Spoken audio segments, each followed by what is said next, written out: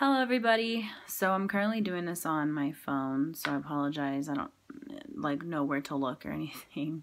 Um, I'm in kind of a predicament. I thought I would be able to have someone record my speech, but plans changed. So thank goodness for technology.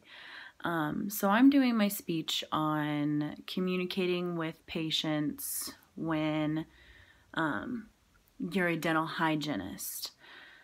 And the reason why I'm choosing it to do over this topic is because after East Central, after I get my associates in applied science, I plan on becoming a dental hygienist. Um, but that's about four to five years down the line, maybe three to four years down the line. Um, so I've wanted to be a dental hygienist ever since I was a freshman in high school, which now was about, oh my goodness, it was nine years ago. It was a long time ago. It feels like forever. But anyways, um, I've known ever since then that I want to be a dental hygienist, and this project kind of helped me look into like, um, you know, the articles about dental hygienists and their offices and how you can make your office run smoothly, because the way it works is in a dentist's office, you have your assistants, and then your hygienist, and then your dentist, and then um, your orthodontists, and they do the specialty work. So I would be up above the assistant. It's a little bit more schooling than the assistant, and of course, you get a pay grade, uh, a pay raise. So, um, when I was when I was doing the annotative bibliography, um, I just learned that, you know, there is a lot of communication that has to do with this profession. And I'm not scared about it because I communicate really well with people. Um, and I love meeting new people and talking to people. And that's a big part of being a dental hygienist um, because they are the ones that take you in, show you your file if you're a new patient, um, and just make sure all your current work is up to date. And, you know, they're like the the middleman, you know, but they do all the work besides every little critique that your teeth need. So they clean your teeth, they do the x-rays, they talk to you about care, everything. You know, the dentist or the orthodontist or the special specialty dentist, they're only in your room for maybe maybe 2 to 5 minutes to just tell you exactly what you need to do to get the right smile or the way your jaws line or whatever it may be um, that you're there for at your appointment for.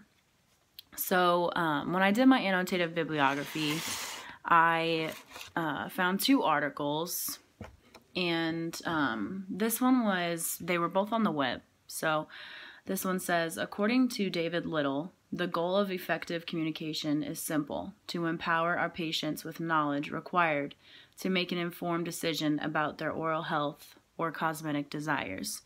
So basically, what he's saying is if you communicate with your patients, you know, in an effective manner, there won't be any kind of lag um, in between, you know, like knowing the correct care and what your insurance said, um, because that's a big deal too with your teeth. You know, if you have a job where you pay insurance, um, it's expensive. It's really expensive. And so I'm in charge of, well, when I become a dentist, I'll be in charge of, um, you know, telling you exactly how much your insurance is going to cover, how much it won't cover, what you will need um, to pay out of pocket, and also what we can do, like to set up a payment plan for you. Um, and what I didn't know is that a lot of dentists, they actually have really good payment plans that, that they can set up for you. Um, like I was with an orth- orthodontist in Washington um, for a job interview, and I was there for about three days, and this one woman needed a lot of work done, And the dentist office was like, you can pay, you know, $200 down and then we can do $20 payments a week.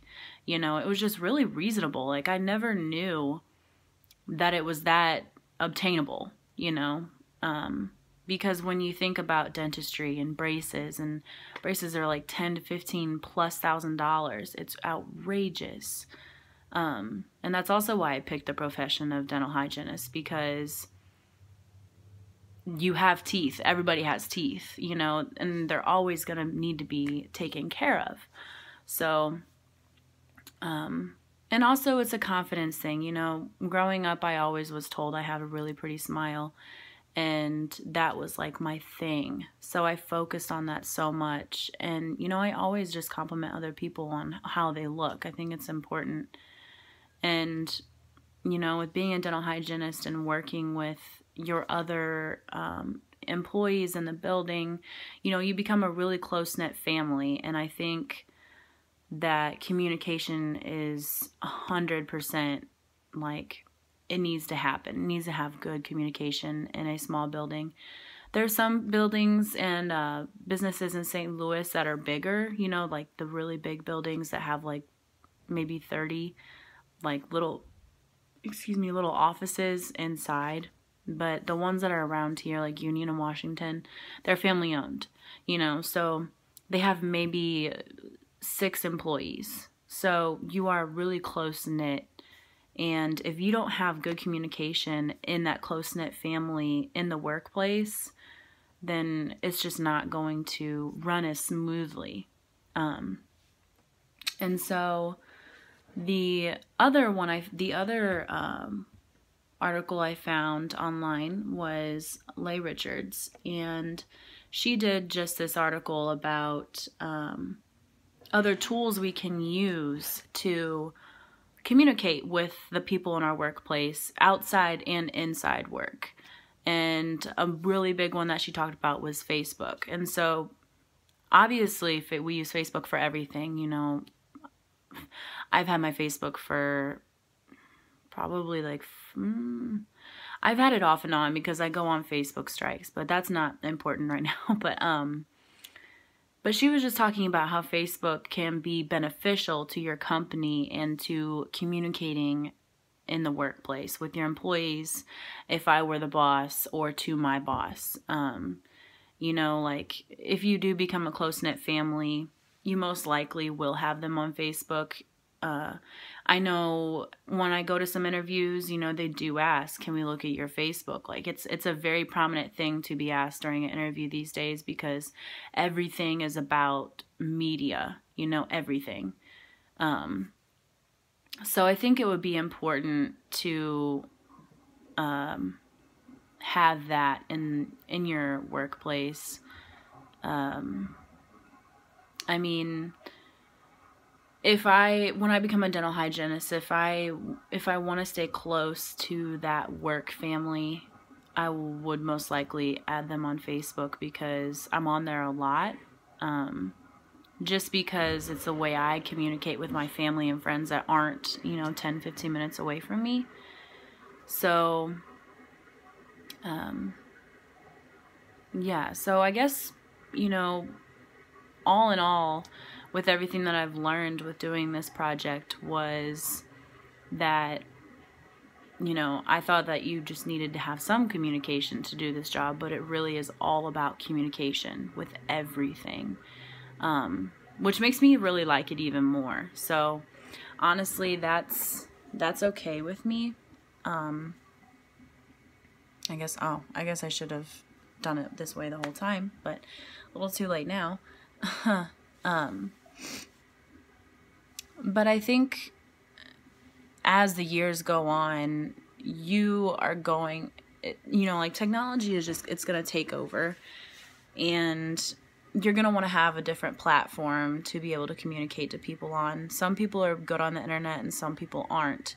Um, so I think now, while you can, you know, like learn about it, you know. Um, and if you own a business, you know, make a business page, you know, something like that, and add your coworkers or employees to it.